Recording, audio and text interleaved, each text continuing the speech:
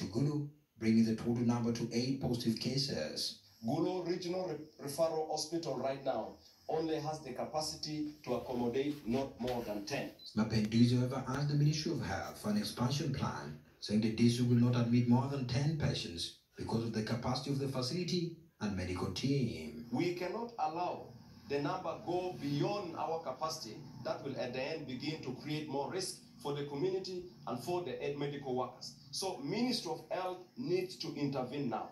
We have also issue of capacity building up. New guidelines are being issued, and when new guidelines are issued, we need to mentor our health workers, which are who are on board. And then issue of inadequate supply of, of food, protective equipment for the all lower facilities, and even the main places where the quarantine center is and other institutions. The UPDF has also directed all truck drivers to Congo and South Sudan to park in only gazetted places, warning errand drivers of arrest if they defy the directive. Those trucks from Malaba or Busia via Kamdini, designated to Elegu and Vora Oraba land borders, will have a situation point at Kamdini at Pida parking yard, two kilometers from Kamdini. The forces must tell them that, my friend, you are supposed to park, then check your vehicle.